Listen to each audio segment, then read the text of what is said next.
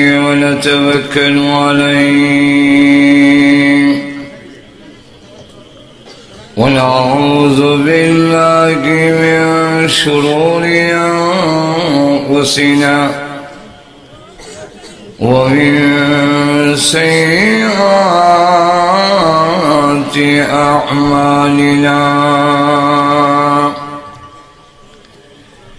من يهده الله فلا مضل له ومن يضلله فلا هادي له. ونشهد أن لا إله إلا الله وحده شريك له.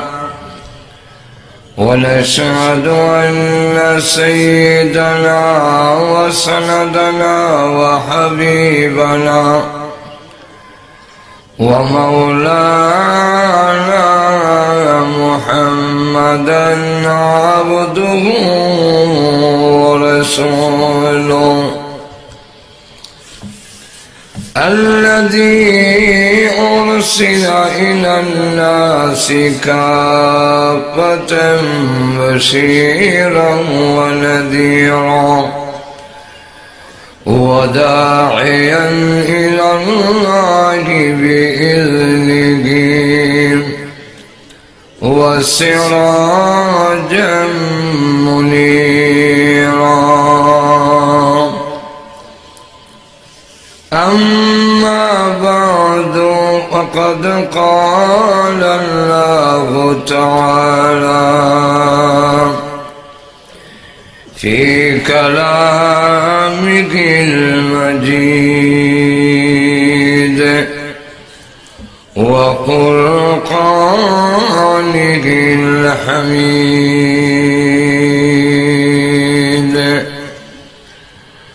أعوذ الشيطان الرجيم.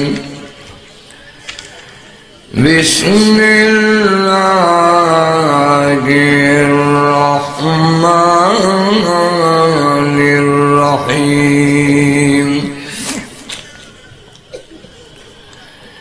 إن الذين كفروا سواء عليهم أأنذرتهم أم لم تنذرهم؟ لا يؤمنون. ختم الله على قلوبهم وعلى سمعهم وعلى أبصارهم غشاوة ولهم عذاب عظيم ومن الناس من يقول آمنا بالله وباليوم الآخر وما هم بمؤمنين.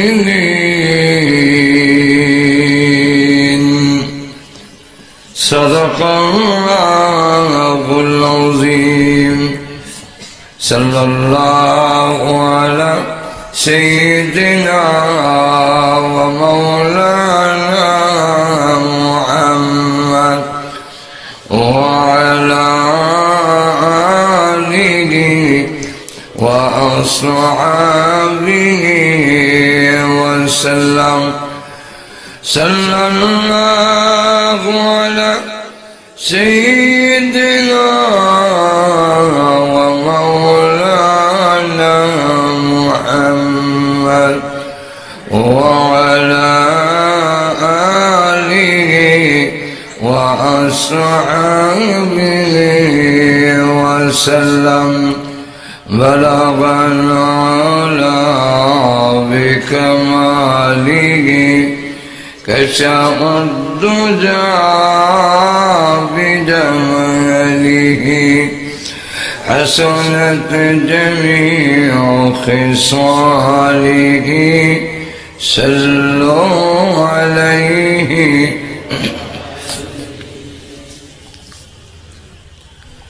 شوت القرآن হাদি ইসলামী যুব সংঘের উদ্যোগে আয়োজিত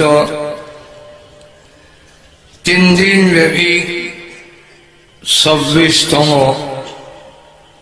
তাসরুল কোরআন মাহিলের আজকের শেষ দিনের শেষ অধিবেশনে অত্যন্ত শ্রদ্ধেভাজন সভাপতি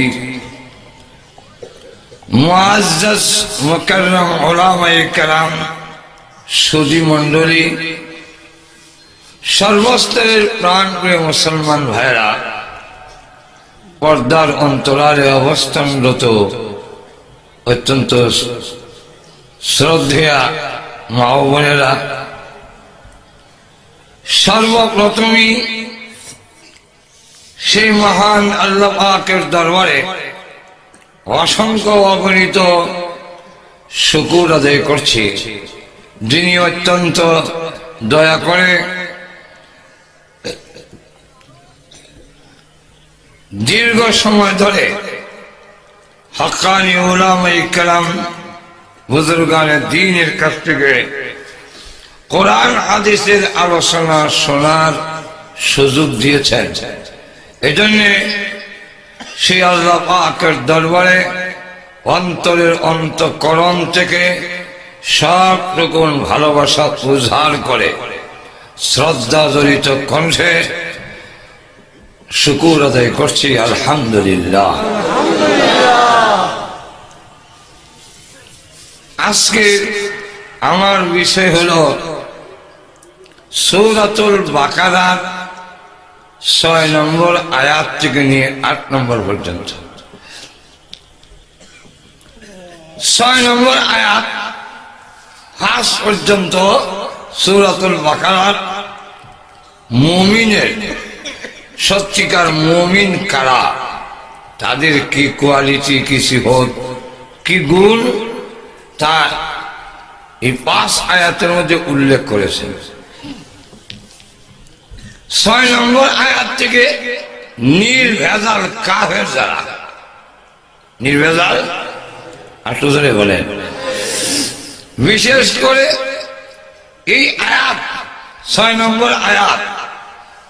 তফসিরে যারা নাইল এবং অন্য অন্য তফসিরের কিতাবও লিখেছেন আবু জাহাল, আবু লাহাব এবং এই জাতীয়।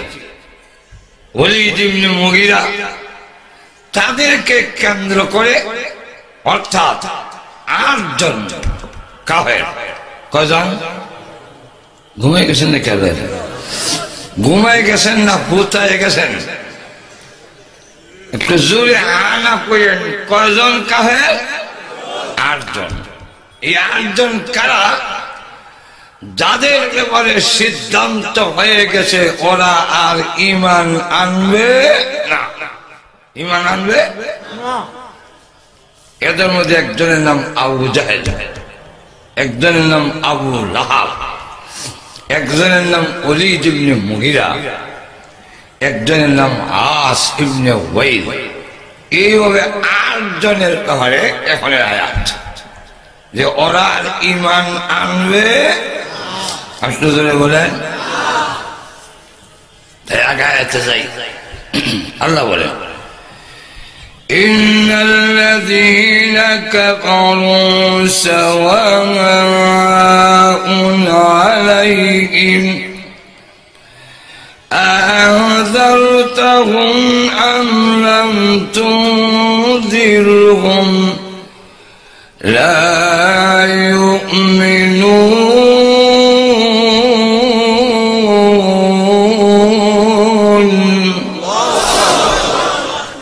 রসুল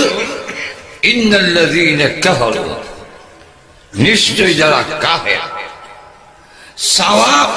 আলাইহিম, বরাবর সমান সমান এদের উপরে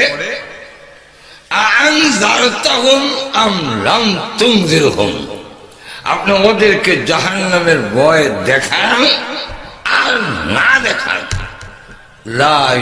মিনুন এরা ইমান আনবে? আর শুধু বলেন, এখন। ইমান আনবে না। এই কথাটা কে বলছেন? আর বলেন, তাহলে এখন যদি কেউ এই প্রশ্ন উত্থাপন করেন, যেটা তফসিলের কিতাবে প্রশ্ন আনছেন, জবাবও দিয়ে কেউ যদি এই প্রশ্ন উত্থাপন করে যে এরা যদি ইমান না আনে, তো তো দোষ তো এদের নয় দোষটা আল্লাহ। একটু আসতে বলি কেন? আল্লাহ না করছে ইমান আনবেন রাজ্য কেমনে ঘুমাই গেছেন না করছে কে? আল্লাহ যদি বলেন ইমান আনবে না, তাহলে হে ইচ্ছা থাকলেও কি ইমান আনতে পারবে? তাহলে ইমান না আনার অপরাধ কি এদের না আল্লাহ? এ আল্লাহ হয়েছে আল্লাহ বুঝে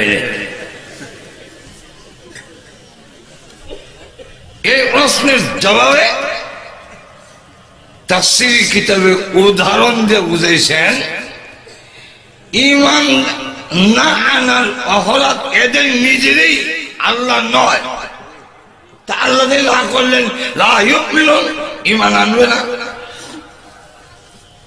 এটা হইল ডাক্তারের কাছে আপনি যাওয়ার পরে ডাক্তার আপনার বক্তব্য শূন্য পরীক্ষা করে কইল, তোমার গ্যাস্ট্রিক চা খাইবা না, জার খাইবা না, সিগারেট খাইও না।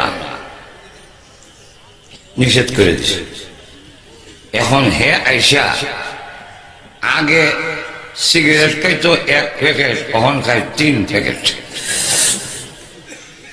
আগে চা খাইতো তিন কাপ কখন খায় ছয় কাপ। আগে জাল কম খাইতো, এখন সাথে কাঁচা মরিচও খায়। বাড়বো না কমবো? আর শুধু কম? এখন দেখা যায় কিছু জলে, ভোগ জলে কিছু অসুবিধা করে। ডাক্তারের কাছে যাওয়ার পরে ডাক্তার পরীক্ষা করে কইল, তোমার গ্যাস্ট্রিক বাড়তে বাড়তে এখন আলসার হয়েছে কি হয়েছে এখনও সময় আছে? চা না? সিগারেট খাইও না? আর ঝাল খাইও না। হে বলে, এবার আয়া দেখে ইলেকশন আগে তো খাইতো ছয় খাও। কখন ফ্রি চা ভাইয়া চল্লিশটা। আগে শুধু কাঁচা মরিচ খাইতো, এখন নাগাও খায়। আগে খাইতো সিগারেট এখন গাঞ্জাও ধরছে রোগ বাড়বে না কমবে এখন দেখা যায়। হম হম। খাওয়ানোর যায় না ঘুমি হয়ে যায়। ডাক্তারের কাছে গেছে পরীক্ষা করে হইল তোমার রোগ গ্যাস্ট্রিক ছিল আলসার হয়েছিল এখন ক্যান্সার। এখন কি ডাক্তার সেকশনে লেখা দিছে রোগ আর ভালো হবে না। এখন আমি আপনাদের কাছে জানতে চাই কোন ব্যাগ করলে যদি কয় এর রোগ ভালোই তো কেমনে? ডাক্তারে না করে দিছে ভালো চন্দ্র ভালো লোক নেই ওর রোগ ভালো না হওয়ার জন্য ডাক্তারের না, এটাই কি দায়ী না হের নিজের দোষ দায়ী? আপনি বলেন, ডাক্তার বারবার না করার পরেও এমন কাজ করেছে যেটা রোগ বেড়ে যায়। বাড়তে বাড়তে রোগ এমন চরম পর্যায়ে গিয়েছে, যেখানে গেলে চিকিৎসা শাস্ত্রে এই কথা বলতে বাধ্য। আর চিকিৎসা নাই, তোমার রোগ ভালো হবে না। সুতরাং এটা ডাক্তারের দোষ নয়, এর আমলের দোষ। আরও যদি কন, আল্লাহ বলেন, এদের কেন কইলাম ইমান আনবে না? এদের অবাধ্যতা, এদের অহংকার, এদের আত্মগরিমা, এদের সবকিছু অলৌকিক ঘটনা দেখার পরেও যখন রসুলকে, কোরআনকে মানে না, তাদের অবাধ্যতা, তাদের সারকেশি তাদের মধ্যে যে অহংকার এটা এমন চরম পর্যায়ে পৌঁছেছে যেখানে গেলে পরে ইমান আনার আর যোগ্যতা থাকে না। আল্লাহ সেই কথাটা বলছেন মেনুন ওরা আর ইমান আনার মতো যোগ্যতা হাঁটু জোরে বিয়াদরে অবাধ্যতা আত্মগরিমা অহংকার, এমন চরম পর্যায়ে এদের পৌঁছাইছে যেখানে গেলে একটা মানুষ ইমান আনার যোগ্যতা হাঁটু ধরে কোনো, যোগ্যতা। আচ্ছা অসুবিধা হইতেছে? অসুবিধা আমার লাগে ভালো। আমি কিন্তু এখনও পূর্ণ সুস্থ হয়েছি না। এখন ঠিক না? চিকিৎসার কোর্স শেষ। ফাইনাল এখনও রিপোর্ট আসে নাই। অসুস্থ হওয়ারও যে মুমিনের লক্ষণ। আর অসুস্থ না হওয়া রূপ সুখ না হওয়া, এটা হইল ফেরাউনের সাসাল ঘরের বাই ফেরাউনের অসুখ হয়েছে আপনাদের অসুবিধা হইলে আমার লাগে ডাবল সুবিধা। অসুবিধা হইতেছে না আপনারা? তবে শোনেন, আমি আপনাদেরকে ছাড়া ওষুধ কেন সাহস কত? খেলে কেমন কেন? ঢুকলে যাওয়ার অনুমতি নেই, চুরি না দিলে ঘুমাই গেছেন নাকি? বিরোধীর হিসাবে ধরলে বেশি একটু যাতাটা ধরেন আর দুই নম্বর হলো ফেসাবের কথাটা বুঝা যায়। তুই দেখবেন আরও এক ঘণ্টা বইলেও অসুবিধা নাই। আর ফেসাবের খেয়াল করলে ওখানে গুতাইব খেয়াল করেন না, এটা বাদ দেন আর। একটু যাতাটা বসে সেবার অসুবিধা হইতেছে? আচ্ছা যাক। বিদায় কানে ধরে আরও ধরে। কুত্তা গরু? এখন যদি আপনি ওয়াশ করেন।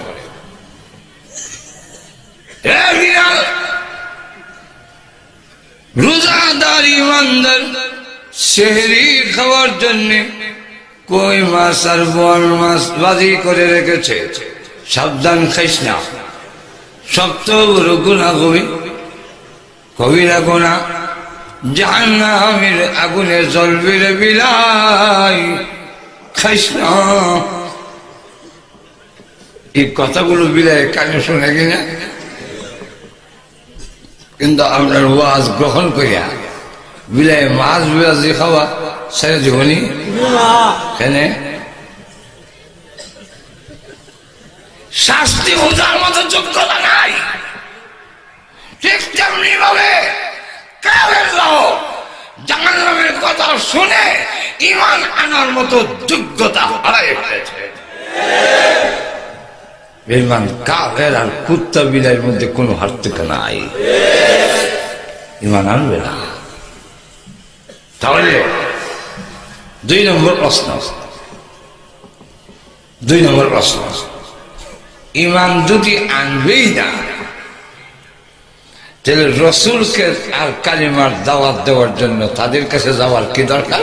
এত ইমান আনবেই না, কি দরকার? দরকার ঠিক না? এটার জবাবে তফসির কিতাবে লেখেন মানুষের কাছে দাওয়াত পৌঁছে দেওয়া নবীর কাজ। গ্রহণ করা, না করা, গ্রহণ করানো, না করানো, এটা নবীর কাজ নয়। ওয়াজ করা আমাদের দায়িত্ব। ওয়াজ গ্রহণ করা, না করা, এটা আমাদের কাজ। দেখুন আপনারা যদি ওয়াজ গ্রহণ না করেন এটা আল্লাহ নবী দাওয়াত দিচ্ছেন দাওয়াত দিচ্ছেন। নবী, দাওয়াত দেওয়া আপনার কাজ। ইমান আনুক আর না আনুক, এটা আপনার কাজ। আনলেও আনলো, না আনলে নাই। আপনাকে এই ব্যাপারে জিজ্ঞাসা করা হবে না। বরং আপনি যে দাওয়াত দিছেন, এর জন্য প্রতিদান আমি আল্লাহ অবশ্যই দিব, হে আনলে আনুক, না আনলে নাই। দাওয়াত তবলিগের কাজ আপনি করতে থাকেন একদলে যদি গেলে গেলাম হ্যাঁ ইমান আনলে আনুক, না আনলে নাই। আপনি তার দরজার সামনে বলছেন, ভাই, আসেন। কোরআন এবং সন্না দ্বারা প্রমাণিত। রসুল যেইভাবে কাফের দাওয়াত দিচ্ছেন এইভাবে ইমান আমলের মজবুতির জন্য আল্লাহ কোরআনে আমাদেরও দাওয়াত দিছেন আল্লাহ পাক মমিন ইমানদারকে আল্লাহ রসুল ইমানের পরিপূর্ণতার জন্য রসুল ইমানদাররাও দাওয়াত দিছেন জাদ্দিদু ইমান একুম এইভাবে রসুল মুমিনদেরকে বলছেন। আল্লাহ কোরআনে আমাদের বলছেন যে ইসলামের মধ্যে পরিপূর্ণভাবে ঢুকো, এটা কাফেররে বলে নাই।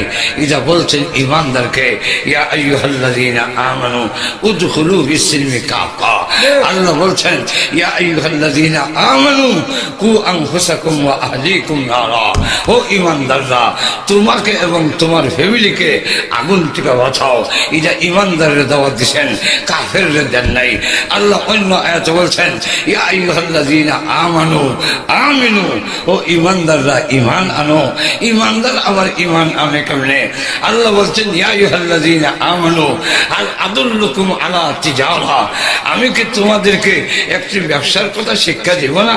এটা কিতা তুমিনুনা বিল্লাহ তুমিনুনা বিল্লাহ, আল্লাহর প্রতি তোমরা ইমান আনো। ইমানদার আবার ইমান আনব। এই দাওয়াত তো কাফেরদেরকে দেন নাই ইমানদারকে দিয়েছেন। সুতরাং তবলিক বলারা ইমানদারদের কেন দাওয়াত দেয়?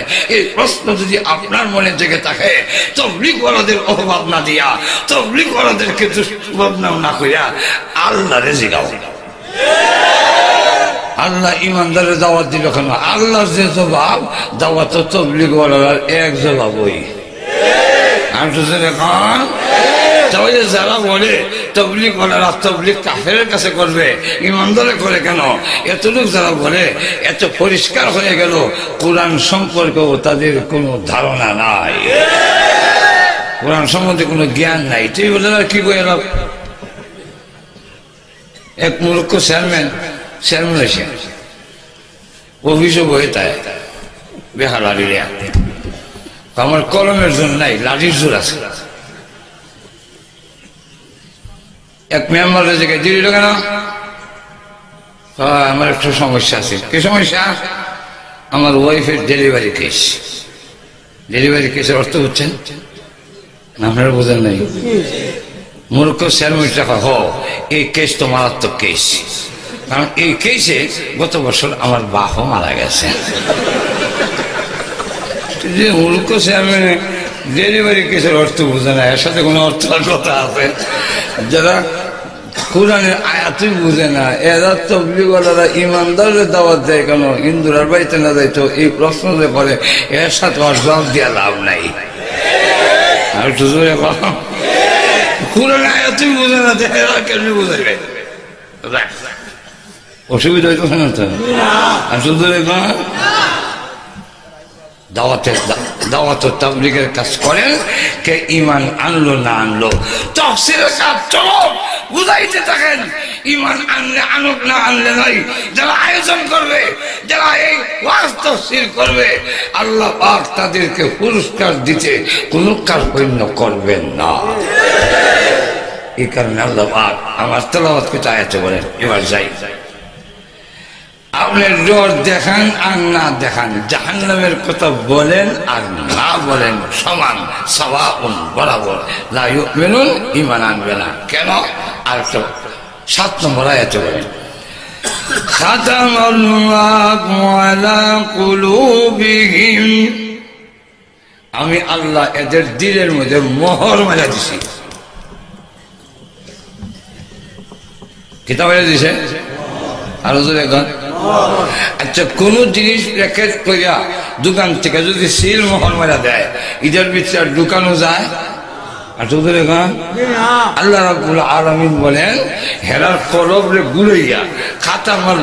আল্লাহ চতুর্দিকে উপরে অত এর ভিতরে কালিমার দাওয়াত আর ঢুকবে না। আর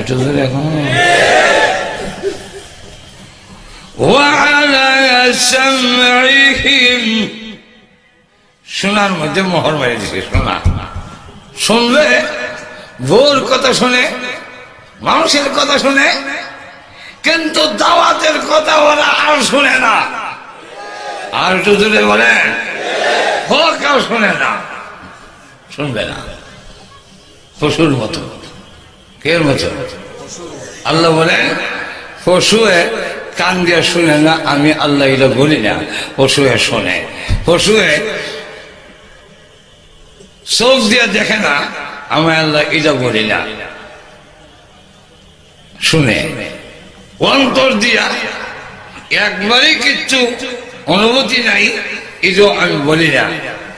কিন্তু এরপরেও চতুষ্পদ জানুয়ার যেভাবে দেখকেও বুঝে না শুনেও শোনে না অন্তর দিয়া গ্রহণ করতে পারে না কাপেরদের অবস্থা হইল চোখ দিয়া হক আর দেখে না কান দিয়া সত্য আর শুনে না অন্তর দিয়া সত্য জিনিস করার যোগ্যতা রাখে না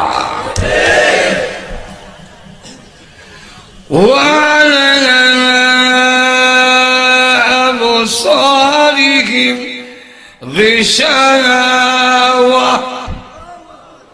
এদের চোখের সামনে আমি আল্লাহ পর্দা দিয়ে দিছি পর্দা গাইবি পর্দা এই পর্দা আছে হক দেখে না দেখে কিন্তু সত্য জিনিস আর দেখে না দেখলো না কেন এই জন্যে আল্লাহ বলেন ولهم عذاب عظيم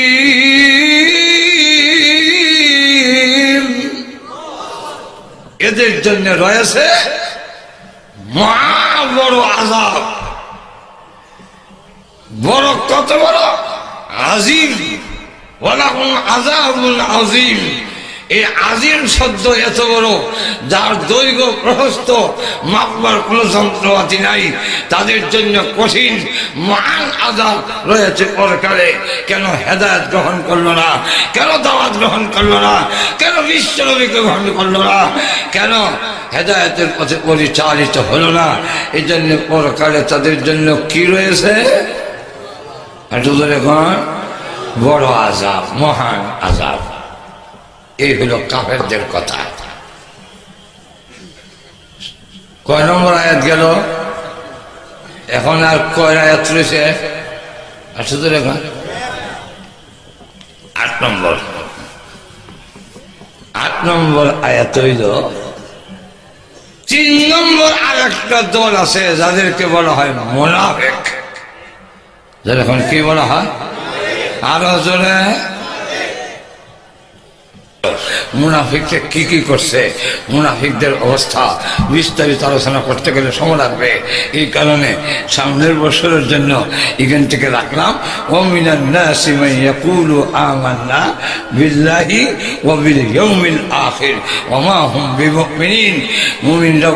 এক আল্লাহ বলেন, এক প্রকার মানুষ আছে যারা বলে, আমরা আল্লাহর প্রতি ইমান আনছি এবং আখেরাতের প্রতি ইমান আনছি। আল্লাহ বলেন, এরপরও এরা মুমিন নয় এটার ব্যাখ্যা আল্লাহ তোর তৌফিক দেয় সামনে বছর হবে আল্লাহ আমাদের তৌফিক দান করুন সকলে জোরে সরে বলেন আমি বাপের দাওয়ানা উঠছেন না দোয়াইতো না দোয়ার দরকার নেই কার কার দরকার আছে মাশাআল্লাহ আপনার الحمد لله ربنا ظلمنا أنفسنا وإن لم تغفر لنا وترحمنا لنكونن من الخاسرين. ربنا آتنا في الدنيا حسنة وفي الآخرة حسنة وقنا عذاب النار. وادخلنا الجنة مع الأبرار. برحمتك يا عزيز يا غفار. يا حي يا قيوم. يا حي يا قيوم. يا حنان يا منان يا رب العالمين يا قاتل السماوات والأرض. أنت ولينا في الدنيا والآخرة. توفنا مسلمين. وألحقنا بالصالحين رب العالمين সারা জীবনের গুনার বোঝা মাথায় নিয়ে গুনার উপরে লজ্জিত আর শর্মিন্দা হয়ে আলে মোলামানি সারা সাদা দাড়ি ওলা মুরব্বী নিয়ে নৌজওয়ান ভাইদের নিয়ে পর্দার আলানের নেকর মা বোনদের নিয়ে আল্লাহ আমি গুণাগার মুসাফির অবস্থায় হাত বাড়াইলাম। মেহরবানি করে, আজকের এই তফসিল মাহফিলকে কবুল করে, এর ওসিলায় আমাদের জিন্দগির গুনারে মাফ করে দাও। মাবুদ, জানি না আজকের এই মুনাজাত, কার জন্য জানে জীবনের শেষ মুনাজাত। আল্লাহ জানি না কার জন্য কাফনের কাপড় দোকানে জমা হয়ে গেছে। আল্লাহ মৃত্যু আসার আগে আগে বাড়ি করে আমাদের তুমি মাফ করে দাও। আল্লাহ জানি মাফ পাওয়ার কোনো যোগ্যতা আমাদের নাই। আমরা নিব খারাপ আমরা অকৃতজ্ঞ। আল্লাহ মেহেরবানি করে, তোমার নিজ গুণে আমাদের মাফ করে দাও। এবং দুনিয়াতে দেখেছি ছোট সময় দুষ্টামি করলে আব্বা আমাকে করে ঢুকতে দিতেন না। ভাইয়েরা আমার করে ঢুকতে যায় না। সন্ধ্যা হয়ে গেলে ঘরের পিছনের দরজায় গিয়ে, মা বলে ডাক দিলে। এমনি দেখতাম মা দরজা খুলে দুইটা হাত বলাইয়া দিতেন। আর দেখে বলতেন আইরে বাবা, সকলে ভুলে গেল, আমি তোর গর্ভধারণী মা বলে যাইতে পারি না।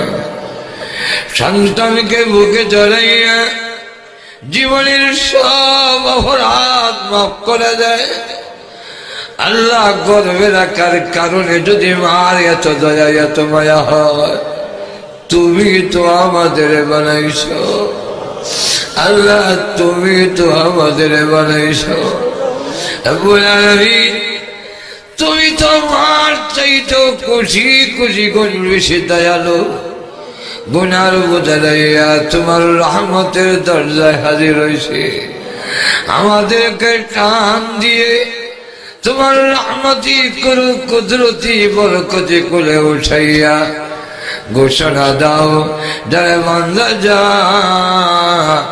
তাদের জিন্দগির গুনারে মাফ করে দিলাম আয় আমরা যে যে উদ্দেশ্যে তুলেছি প্রত্যেকের নেক আশারে তুমি পূরণ করে দাও, আল্লাহ আমাদের আওলাদ গুরুকে পাক্কা নামাজি, দিনদার, পরেশগার বানায়া দাও।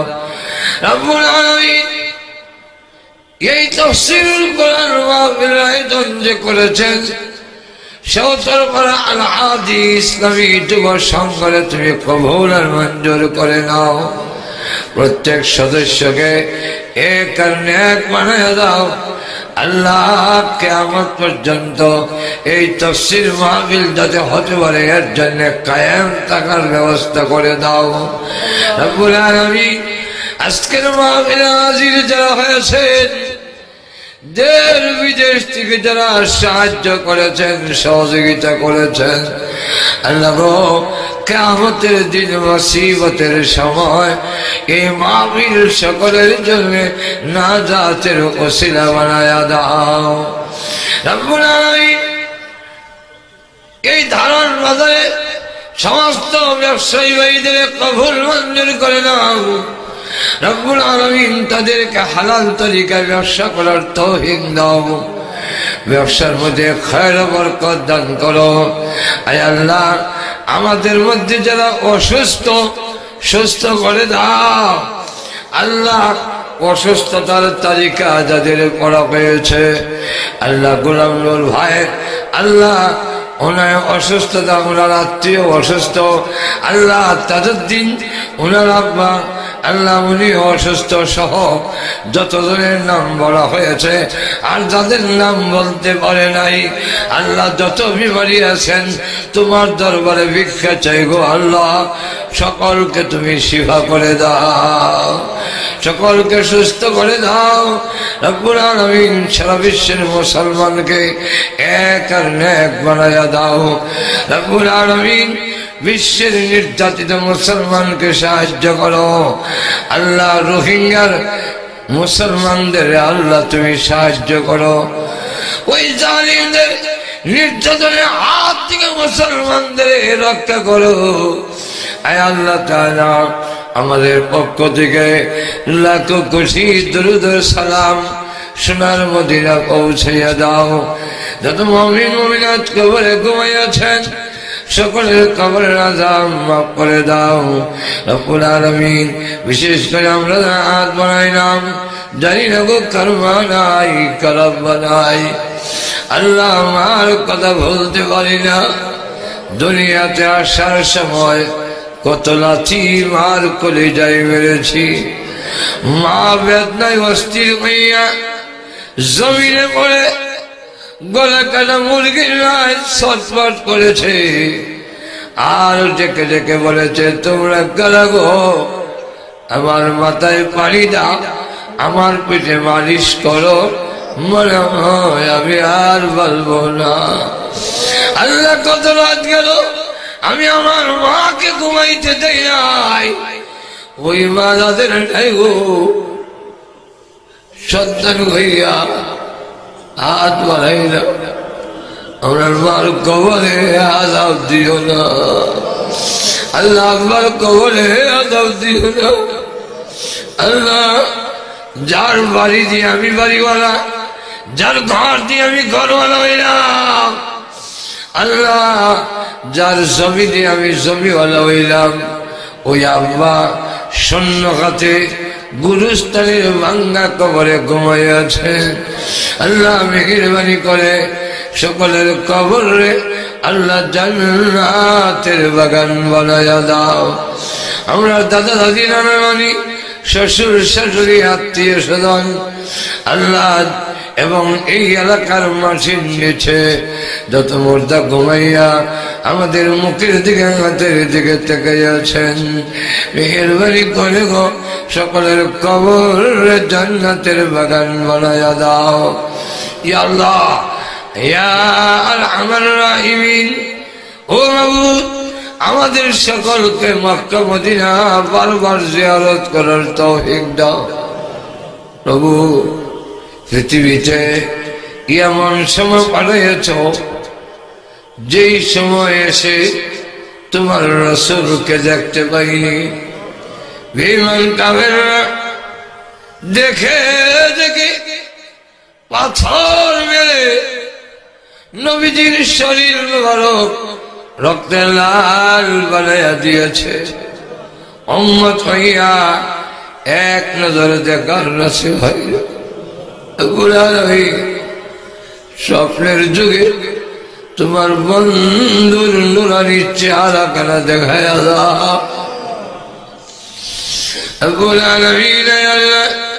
যেদিন মরণ দাও ইমানের সাথে মরণ দিও। আমাদের জামানে কালিমা সাদারি করে দিও। রব্বানা তাকাব্বাল মিন্না إنك أنت السميع العليم. وتب علينا إنك أنت التواب الرحيم. سبحان ربك رب العزة عما يصفون وسلام على المرسلين. والحمد لله رب العالمين.